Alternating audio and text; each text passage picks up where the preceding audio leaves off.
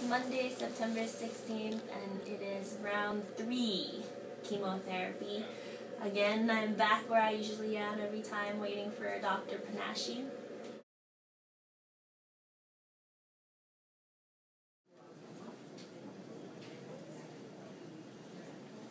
One of the patients is red Pac-Man. He's what? A red Pac-Man. Red pack. That's what you call that? Red Pac-Man? Red Okay, Pac- You can put that on your blog. This is my third round of AC chemo currently going through my body right now.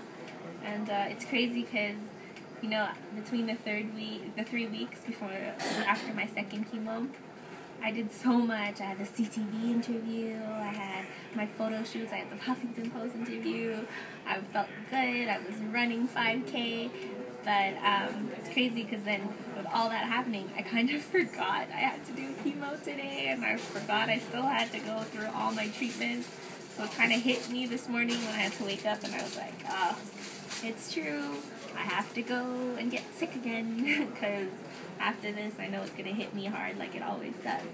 But it's okay because um, today I found out that, um, according to Dr. Panashi and my surgeon, Dr. Willow, my tumor has shrunk again. But this time significantly. It's insane because remember my 4x4, that the big tumor that I had, is now shrunk to 1.7 centimeters, and the smaller one is 1. Point, uh, 1.2 room, between 1.2 and 1.5. It means this is working, and that's a really big difference. So um, Dr. Wallo said that uh, it's a good thing that I gotta continue my treatments because that way we can eliminate the tumor completely, and I have a chance to be cured. I'm really, really excited about that. Um, aside from that, so much has happened today.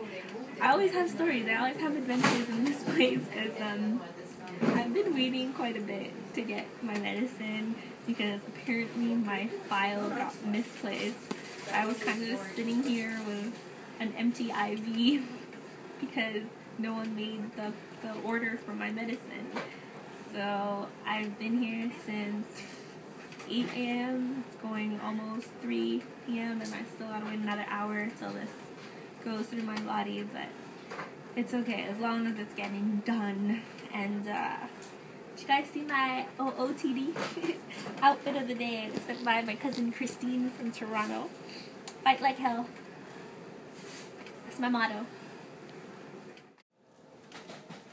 So, for those who don't know me, I'm kind of a really superstitious person. Well, not really superstitious, but I believe, you know, in um, lucky charms and just energy. And of course, I grew up Catholic. I consider myself religious. I do believe in God.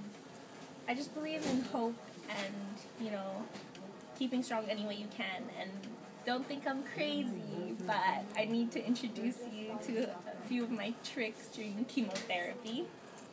I have a bunch of Lucky Charms, but all of them are gifts, and I think that's the best way to explain it. When I receive a gift, I cherish it. I think it's the most precious thing ever, and it means a lot to me. So, um, my sister-in-law Amelie, this is her lucky pouch. She actually had it when she had um, cancer when she was like 12 and she said she brought it with her every time. Inside, it, it contains a bunch of charms with saints on it, and she told me to hold it in my hand every time I do chemo because that's what she did. And she's a survivor, and she's perfectly healthy and fine right now. So this is one of them that I hold tightly. And then, of course, I have pictures of all my saints. Father Andre. This one's from Padre, Padre Pio. This? Tony. Tony. This is from my mom's coworkers. My mom's coworkers have been very supportive. My angels, my holy water.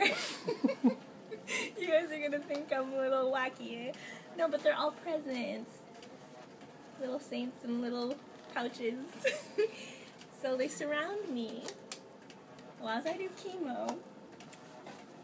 And another trick with all this around me is that I close my eyes and I focus, but all the medicine is aimed towards my bosom. and this way, I feel like your mind can truly control anything that goes on in your body. You have total control of your your body and soul. So it is time to meditate. I will see you guys later.